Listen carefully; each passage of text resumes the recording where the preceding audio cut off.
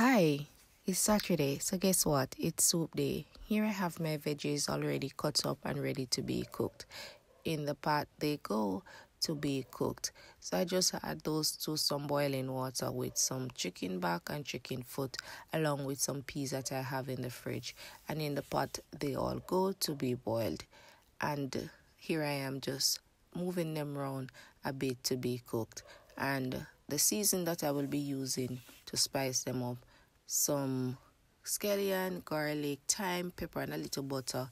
And here I will be adding some additional meat to the pot as well cow skin and cooked beef that I already cooked early on. A few pieces of yam and my dumpling go in along with the season that I showed early on. Will be going in my pot for cooking, and then I just leave everybody there to cook for a bit, and just there they go bubbling away. Uh, can I tell you if you